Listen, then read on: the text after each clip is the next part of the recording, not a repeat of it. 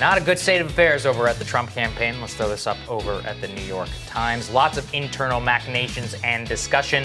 Lots of people inside Krystal basically telling the New York Times on background that they're freaking out. They think they're going to lose. Bill Stepien is saying that things are grim. In many cases, they're running ads in states um, despite the fact that they think that they shouldn't because they don't want to bruise the president's ego. Right. Some of them are looking for jobs on Capitol Hill. The blame game is starting. People are, I mean, rightfully, I think, pointing at Brad Parscale, being like, hey, how did you piss all this money away Yeah. before the election? And now Joe Biden is spending, outspending Trump by hundreds of millions of dollars on the television airwaves. How, how did this happen? I remember doing segments here about a year ago. Yeah. This guy was broke. He had nothing. He had less money in the bank. I think he was like fifth. There's didn't Andrew Yang raise the same amount of money as him? Yeah. Like in one quarter? Yeah. Now he's got like seven hundred million million dollars or something like crazy. curtailing travel because he like He couldn't even afford to didn't fly have the pri- funds. private. And now it's like this guy is loaded all over the airwaves. How is the Trump campaign not have enough, you know, in the bank in order to cover their spending? It's an embarrassment. It Right? is. It I mean, is. some of the details here, we can throw some of the Yeah. tweets here this, uh, from uh, Alex Burns up on the screen. So here's some of the key details from this piece. Bill Stepien, campaign manager, telling Top R's that their path forward is slim. Mark Meadows on the rocks after the White House COVID fiasco. A lot of people saying that he probably will not keep his chief of staff job after the election. And some Trump staff already seeking Hill jobs. Never a good sign when everyone is heading for the exits. One key difference from 2016 Four years ago, ours were confident they would hold the House and optimistic about the Senate. Today, they expect losses on all levels, possibly very bad ones. I saw Dave Wasserman tweeting that he is hearing the word bloodbath Yeah. from a lot of Republican operatives, strategists. That tracks with what um, Reid Wilson told us here. It was like that Monday after the debate. That's right. He said that he talked to a whole bunch of Republican strategists, and they were all like ashen by the polling that they were getting back in races across the country because so many of these candidates have spent so long, especially the ones in office, tying themselves around Trump, that now that he appears to be going down, they are going down right along with him. It is definitely an ugly scene. Yeah, it, it certainly is. It's funny though because again, the reasons why they think they're losing are all for the wrong reasons. Like they think that Trump is losing because he didn't, you know, because he at first put, you know, some sort of social distancing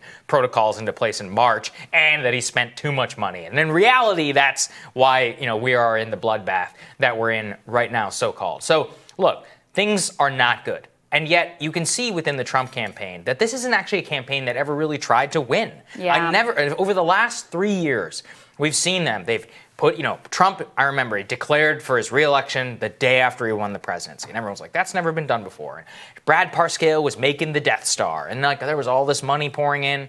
And look, Trump has a huge grassroots level of support. It's true. Go look at his small dollar, small dollar donor numbers. They're massive. It was something that we pointed to 250 million, 300 million. I gave these idiots far too much credit. At the time, I was like, wow, like, I mean, there's Well, no what we way didn't know that they was can't do this. how much they were spending Yeah.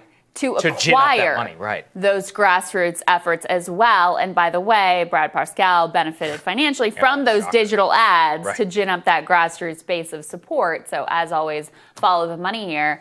And I think there's also like from the beginning, because Trump so overcame the odds and obstacles back in 2016, there's always been a lot of magical thinking here. You've got a guy in Donald Trump who doesn't want to hear negative news. He doesn't want to listen to it. He's likely to make you pay a price if you try to tell them the truth about what's really going on.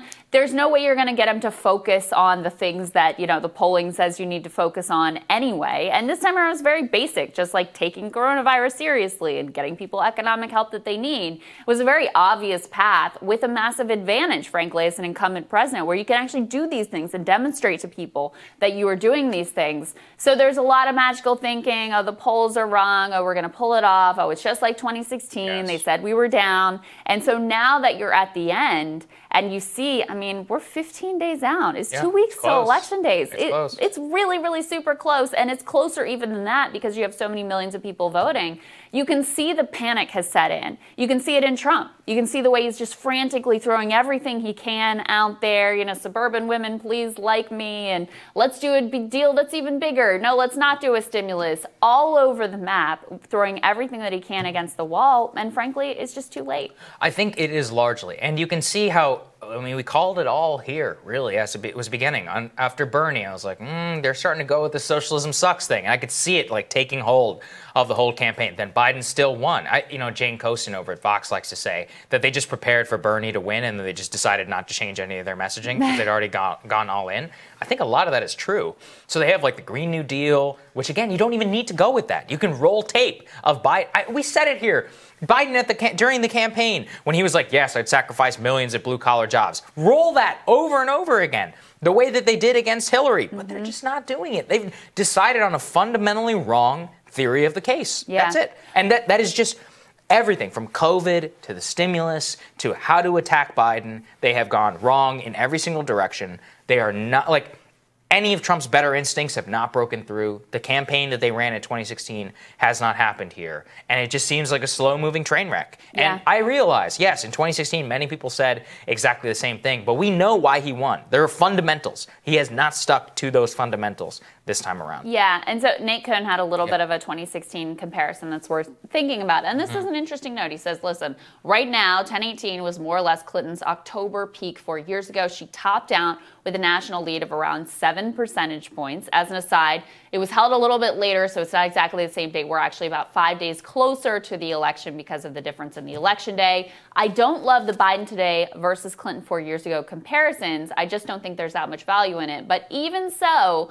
Biden is still running about three points ahead of Clinton in the national surveys on this date with far fewer undecided voters. And that part is key because look, Trump campaign thinks this Hunter laptop mm-hmm. stuff is going to really move the needle or do something for them. They've known about this stuff that was out there. They clearly tried to get it dropped at yeah. the right time to manufacture something for them coming down the stretch. But frankly, it almost doesn't matter what happens at this point. And this is why also I think Pelosi's calculation on withholding a stimulus deal because she's worried about helping Trump. Like, even if she said yes and they got this big stimulus deal, I really don't think it moves the needle that much at this point because people have who has not made up their minds about which way they're going in this election? It's like two people that are left to convince. Yeah, every, everybody's generally locked in. I, I mean, in terms yeah. of turnout, you know, some things can happen. I yeah, think the sure. Comey letter was around like October 28th, just to try and put things into perspective. But things were tight uh, right there then, too. And there so were a lot more undecided there were a voters. A lot more undecided voters, a lot of late swings to Trump. I mean, mm-hmm. for many, many, many different reasons. And so you go and you look at all of this and you're trying to think, what are the major shockers that could happen? I don't even think stimulus is up there. I thought RBG, actually, I was like, oh, maybe that'll. Has it really? I mean, not. ACB's hearing happened. I don't even see it on the news. Do you? Like, same thing. I mean, over and over again, it's almost like we are just locked in. There was a theory that Trump could have made. This would have had to happen months ago when, in terms of COVID, in terms of economic stimulus, in terms of critique against Biden. Everything else, it's kind of just headed towards maybe his last chance to have really pulled off something crazy was at the debate that he decided not to do. Mm-hmm. You know, there's there is one more debate this week. Of course, we'll talk about it here and whatever comes out of that. But um, in terms of really shifting the dynamics and having enough time to make a change, I still think that was probably too late. But if you're going to make something happen, that would have been the moment. And he decided not to do the debate. And so here we are. Probably right. All right, more rising for you after this.